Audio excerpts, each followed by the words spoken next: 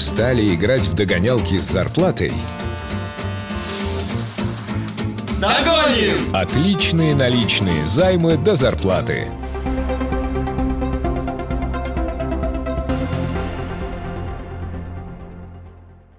Накануне прошло выездное совещание в микрорайоне Горный, известном народе как Шанхай. В будущем году он полностью будет освобожден от ветхого жилья. То есть у Кызыла появляется прекрасный шанс впервые построить целый район от начала и до конца, строго по правилам комплексной застройки. Чтобы социальная, инженерная, торговая и иная инфраструктура появлялась не вслед за жильем, а параллельно с его возведением по единому плану застройки в едином архитектурном образе. Под это дело возможно защитить необходимость строительства новой современной школы вместо сегодняшней старой 1964 года постройки. Таким образом, глава региона поручил Минобразованию подготовить необходимые документы, чтобы республика смогла побороться за включение такого объекта в госпрограмму. То же самое относится и к другим министерствам. Каждый из них должен подумать, с чем он смог бы войти в план комплексной застройки Горного. Это для козылчан редкая возможность наработать на практике опыт строительства не двух-трех домов, а целого микрорайона под ключ, от фундамента до конька. Это наша школа, вот она находится. Да. Вот. Здесь садик есть, здесь тоже садик. Да. Вот наш Шанхай. Да. Предполагаем, который мы садим, школу где-то в этом месте будем садить. То есть это все у нас сносится. Да, да. Согласно программе переселения люди там э, будут сносить. Правительство Тувы и компании, представляющие в России крупнейших белорусских производителей тяжелой и специальной техники БелАЗ и ГОМСельмаш, намерены подписать соглашение о сотрудничестве. Договоренность об этом была достигнута на встрече главы республики с руководителем отделения посольства Республики Беларусь в Красноярске Виктором Щедько и менеджерами компании «Красноярск Белаз-сервис» и «Гомсельмаш Сибирь», которые прибыли в Кызыл. Виктор Щедько заверил главу Тувы, что пять с лишним тысяч километров, которые разделяют Кызыл и Минск, не помешают наладить тесное сотрудничество. Белорусские машиностроители прочно обосновались в Красноярском крае. С прошлого года начали осваивать территорию Хакасии. Так, в строительство Центра технической поддержки в Усть-Абакане БелАЗ вложено более 100 миллионов рублей. Сегодня Центр обеспечивает работой 60 человек. Отметим, что только в этом году по лизинговой линии было приобретено 6 комбайнов Гомсельмаша Полессе. Даже имеющийся в настоящее время в Туве парк машин белорусского производства, включая около 100 карьерных самосвалов, БелАЗ позволяет не сомневаться, что сервис-центры окупятся сполна. Ежедневно с понижением температуры воздуха на водоемах проходит процесс ледообразования. В ходе патрулирования рабочей группы проведен мониторинг ледовой обстановки. На реке Хемчик толщина льда составляет от 5 до 7 сантиметров, сообщает сайт администрации Байтайгинского района. Чтобы лед выдержал человека, необходимо, чтобы его толщина достигла не менее 10 сантиметров.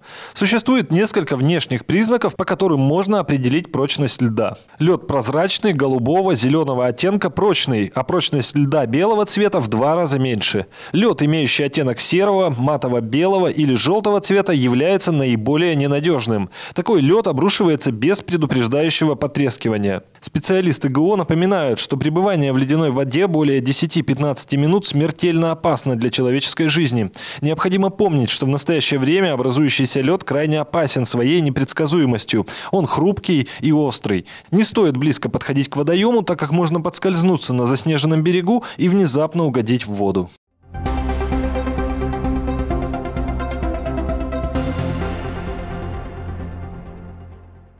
Хозяйственные товарищества теперь могут относиться к субъектам малого и среднего предпринимательства. Об этом сообщает издательство «Российская газета». Собственники многих хозяйственных товариществ воспользуются возможностью получения статуса субъекта малого или среднего предпринимательства, так как он имеет исключительные преимущества и предусматривает преференции. Среди таких преференций значительны льготы и квоты при участии в госзакупках, упрощенная дисциплина ведения кассовых операций, упрощенная отчетность, специальные налоговые режимы, позволяющие работать на сниженные налоговые ставки, и надзорные каникулы.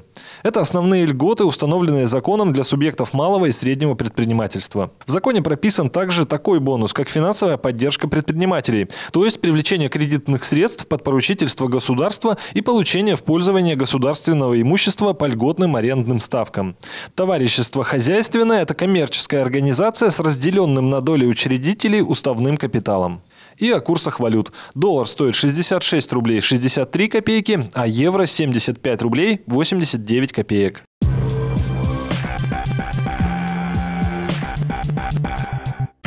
И пуховики от трех с половиной тысяч. Здесь Аюн Курседи 96. С 23 ноября по 9 декабря на ярмарке Ербак. Аюн Курседи 96. Компания «Вятская мехобелка» вновь в Кызыле. Покупай шубу и участвуй в розыгрыше немецкого автомобиля. Рассрочка до трех лет без переплаты. С 25 ноября по 2 декабря в ЦУМе. Кызыл, встречай! Гибоны, лемуры, мартышки, а также туканы и большие попугаи Ара ждут вас на выставке «Мир обезьян и попугаев» в Национальном музее.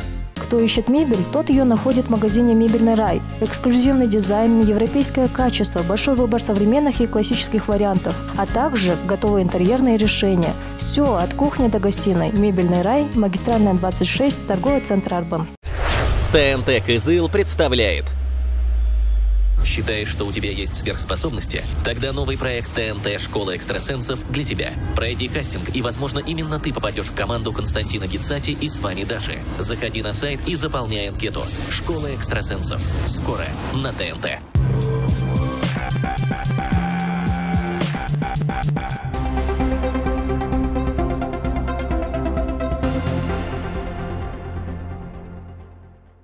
Мужчина предстанет перед судом за убийство двух лиц, одно из которых им совершено в составе группы. Следственным комитетом региона завершено расследование уголовного дела по обвинению 24-летнего ранее несудимого жителя села Байхак Тандинского района республики.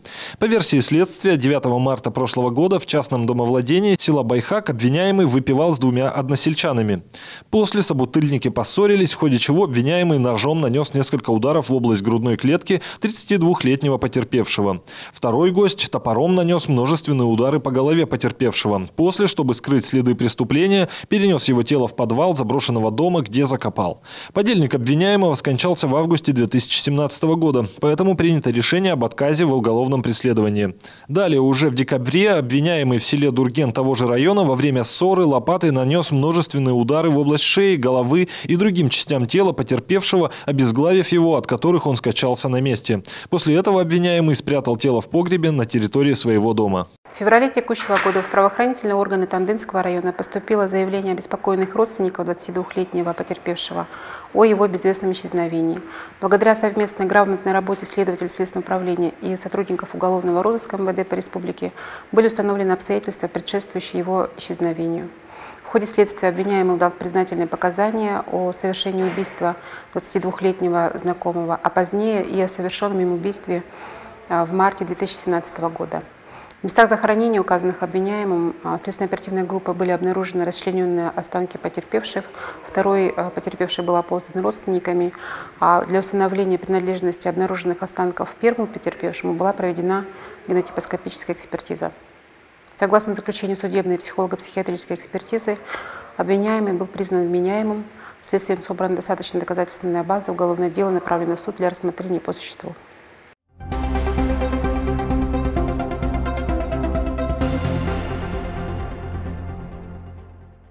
Юнормейцы и юные инспектора дорожного движения республики приняли участие в четвертой всероссийской информационной агитационной акции «Есть такая профессия. Родину защищать». В рамках акции с 15 по 29 ноября текущего года юнормейцы и юные инспектора дорожного движения посетили военный комиссариат Тувы. Акция организована с целью профориентационной работы юных патриотов и ознакомления с бытом и размещением военнослужащих. Всего экскурсию посетили 40 юнормейцев. Лицея номер 16 16 города Кызыла и Хайрыканской общеобразовательной школы, а также юные инспектора дорожного движения 16-го лицея города Кызыла в количестве 28 человек.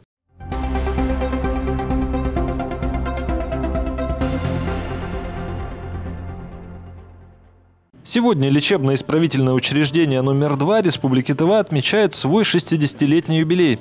Напомним, что в ноябре 1958 года в республике была образована исправительно-трудовая колония строгого режима номер 2, которая в марте 1994 года реорганизована в исправительно-трудовую колонию на правах лечебного учреждения, включая туберкулезную больницу для содержания и лечения осужденных больных активной формой туберкулеза. С 1998 года учреждение переименовано в лечебное лечебно-исправительное учреждение номер два. Ну, в настоящее время э, лечебно-исправительное учреждение номер два э, лимит наполнения составляет 654 человек. Ну, фактически сейчас в настоящее время содержится около 320 человек. Ну, данные осужденные А, основная масса проходит лечение э, от туберкулеза. Это около 280 человек примерно. 40 человек, они как бы у нас э, трудоустроены, работают э, в хозяйственном служении учреждения. Такие же осужденные, которые добросовестно ходят на лечение, принимают лекарственные препараты по медицинским показаниям, да, и как бы отбывая наказание, они, даже находясь в учреждении, вылечиваются от туберкулеза, и после излечения они направляются э, в то учреждение, откуда они были направлены ранее к нам. Лечебно-исправительное учреждение в своей структуре имеет три отделения для больных с активной формой туберкулеза, лечебно-диагностические отделения на 25 коек, рентгенодиагностическое отделение, бактериологическую лабораторию по диагностике туберкулеза, клинико-диагностическую лабораторию и все они оснащены новым диагностическим оборудованием. Результаты лечения у нас э, хорошие, излечиваемость хорошая. А почему? Потому что, во-первых, мы федеральное учреждение, да, то есть мы получаем медикаменты против туберкулезность э, с федерального бюджета. На сегодняшний день мы имеем э, медикаменты да, даже для лечения по пятому режиму. Это такие сложные больные, которые как бы не поддаются лечению теми препаратами, которые у нас есть вот в республике. На торжественном мероприятии в честь юбилея были отмечены благодарственными письмами ведомства, отличившиеся сотрудники и ветераны Управления Федеральной службы исполнения наказаний.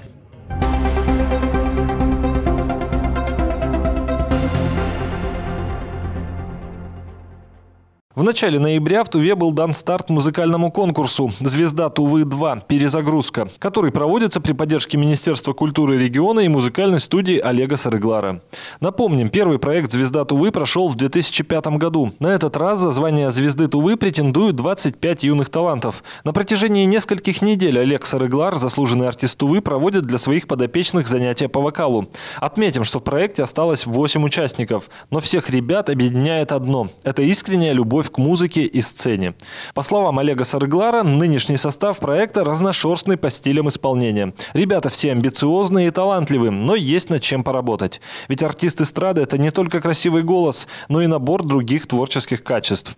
Сегодня в «Звездном доме» вовсю кипит работа. Впереди отчетный концерт, а значит придется с кем-то распрощаться. И уже 6 декабря станет известно имя новой звезды тувинской эстрады. Будет э, яркое событие, как бы э, давно у нас в эстраде не появлялись новенькие, свеженькие, молодые исполнители. Но на этот раз э, мы сейчас готовим 8 человек. Это будет, конечно, сюрприз для нашего зрителя, что они посмотрят э, новые голоса, услышат новые голоса, посмотрят новых молодых исполнителей со всех, из разных кожуунов.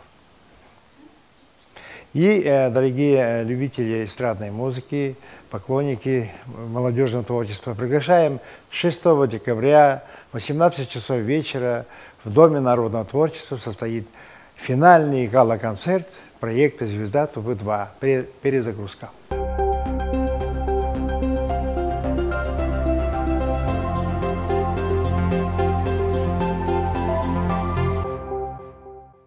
Спонсор прогноза погоды – компания «Отличные наличные». Компания «Отличные наличные» рада видеть вас в любом из своих офисов более чем 80 городах России, от Камчатки до Калининграда. Компания «Отличные наличные». Получайте займы на займ-карту в любой момент, просто по звонку. Переплата по займам такая маленькая, совсем малышка. Отличные наличные, ну очень маленькая переплата по займам. По республике переменная облачность, местами небольшой и умеренный снег. Ветер северо-западный 2,7 метров в секунду, порывы до 14 метров в секунду. Днем местами 15-20 метров в секунду, метели. В Кызыле переменная облачность, небольшой снег. Ветер северо-западный 3,8 метров в секунду. Температура воздуха ночью минус 13, минус 15 градусов, днем минус 4, минус 6 градусов. На дорогах местами гололедица. Переплата по займам такая маленькая – Совсем малышка.